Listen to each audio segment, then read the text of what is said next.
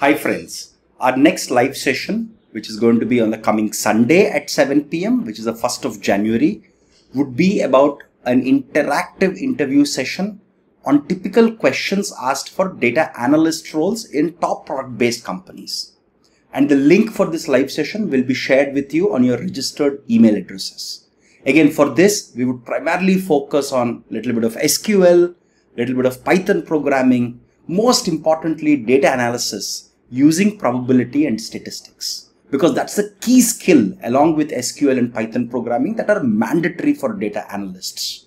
So please revise these topics and see you on the 1st of January 2023 at 7 p.m.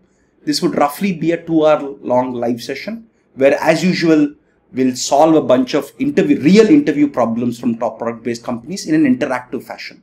Again, I love this interactive interview sessions because we hear tons of ideas from learners on how they would tackle that solution and we would debug and understand which solutions might work, which solutions may not work and why they may not work, etc. etc. So see you all on the coming Sunday.